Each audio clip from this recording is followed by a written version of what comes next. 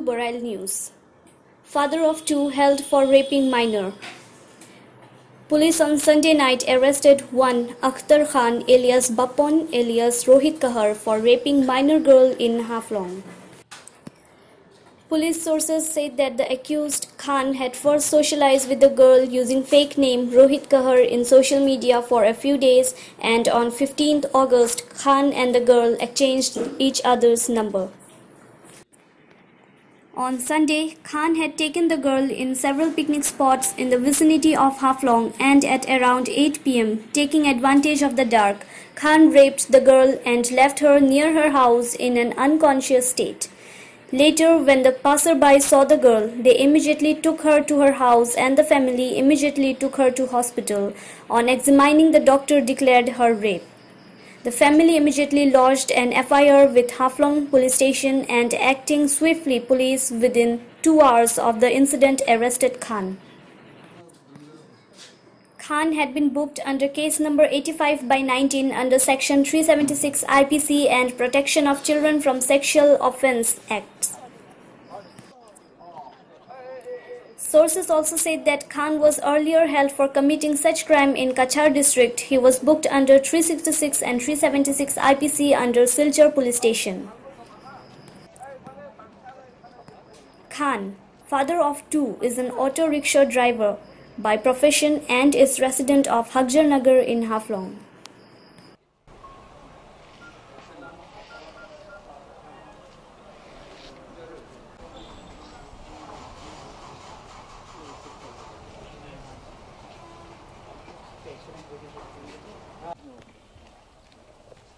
बहुत बड़ा होप पड़ रहा है आपका सर इस केस को आप फास्ट ट्रैक में लेके जल्द से जल्द इसको हमारे बहन को न्याय मिले। हमारा सारा भाई बहन भी वही चाहता है। आपके ऊपर हम फुल दिन है दस दिन का। दस दिन करने के लिए बहुत मेहनत करना करना पड़ता है। हम मेहनत करेंगे। Maximum ten to twelve days का अंदर में चार्जशीट करके यूजुअली केस हम चार्जशीट करने के बाद भी थोड़ा सा टाइम लग जाता है कोर्ट में वो ट्रायल शुरू करने के लिए। ट्रायल मतलब जब इंट्रोगेशन एग्जामिनेशन होता है कोर्ट में। लेकिन इस बार हमने क्या हम क्या करेंगे? जुडिशरी से बात करके इसको फास्ट ट्रायल में शुरू करने के लिए हम बोलेंगे ठीक है? कल शाम तक हमारा हाफलॉन्ग पुलिस स्टेशन में आ, ये केस रजिस्टर हुआ केस रिपोर्ट हुआ। आ, वैसे मैंने एक माइनर गर्ल है around seventeen year old seventeen eighteen का आसपास है। आ, उसका रेप हुआ है करके हमको कल रात अराउंड एट थर्टी नाइन तक खबर मिला। जब साथ ही साथ वो लोग एफ़ भी दिया था। एफ़ देने के बाद उसके बाद पता चला एक अक्यूज आदमी है, उसका नाम मोहम्मद अख्तर खान, एलियस बपन खान, वो ऑटो ड्राइवर है या गाड़ी ड्राइवर है सन ऑफ़ मोहम्मद कायम खान, हकजर नहर हफलॉन्ग का एक लड़का ने वो लड़की को रेप किया है करके। हमको इंफॉर्मेशन मिलने के साथ ही साथ हमारा senior officers deputy superintendent of police Moran और हमारा जो उसी सब एक टीम मिला के हम तुरंत उसको हम कल रात ही मैंने in matter of two hours हमने उसको अरेस्ट किया है। अरेस्ट करने के बाद आज सुबह जाके आ, मैं खुद जाके हमारा जो डीएसपी हेडक्वार्टर और ओसी के साथ और आईओ के साथ हम डिस्कस करने के बाद आ, क्या क्या करना क्या है और क्या क्या स्टेप्स लेना है इन्वेस्टिगेशन कैसे जाना है ये पूरा हमने पूरा सुपरवाइज किया है। साथ ही साथ वो जो अक्यूज़ है मेन अक्यूज़ वो मेन अक्यूज़ को अरेस्ट करने के बाद उसको इंट्रोगेट करने के टाइम में उसको वीडियोग्राफी भी किया है और खुद कन्फर्स किया कि वो लड़की से अगस्त ये महीना में ही जान पहचान हुआ। आ, होने के बाद ये लोग मैंने मोबाइल से थोड़ा सा मैंने कम्युनिकेशन हो रहा था। कम्युनिकेशन होने के बाद अगस्त 15 के बाद और ये फ़ोन नंबर भी एक्सचेंज हुआ।